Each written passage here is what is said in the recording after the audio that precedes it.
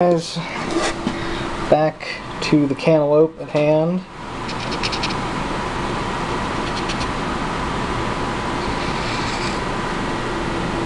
This guy, we're going to be firing semi-automatic tungsten at 4.5 kilojoules. Get ready, Mr. Cantaloupe.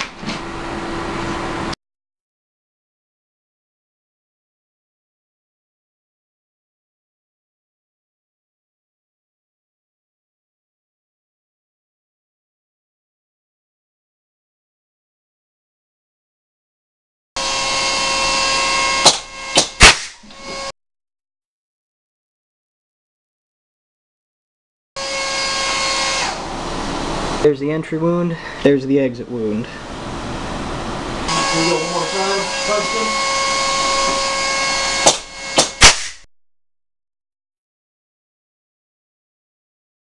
Guys, here's the cantaloupe.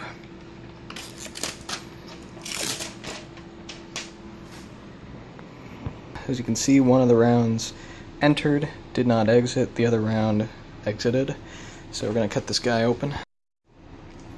Alright, here we go. I'm going to cut down the center. One moment.